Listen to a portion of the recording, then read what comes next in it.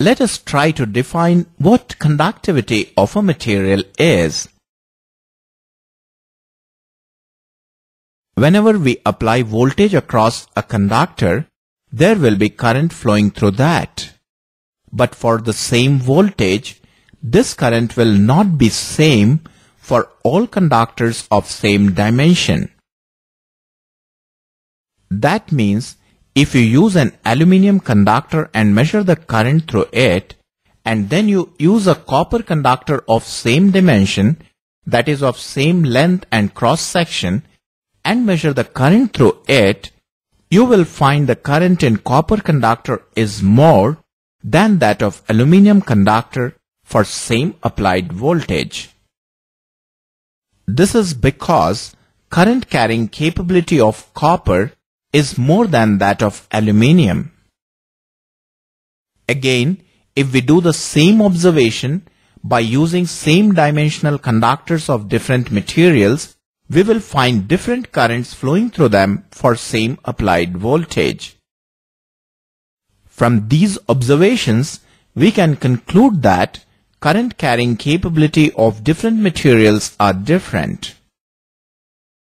This current carrying capability of a particular material is measured in terms of conductivity of that material.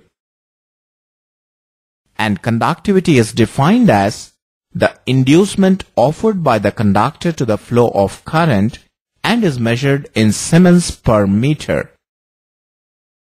By this explanation, it is quite clear that conductivity of material is opposite property of resistivity. We know that by resistivity, we measure how a material resists the flow of current through it. Hence, Mathematically, conductivity is the reciprocal of resistivity. Resistivity of a material is denoted as rho and conductivity of the material is generally denoted as lambda and it is equal to 1 by rho.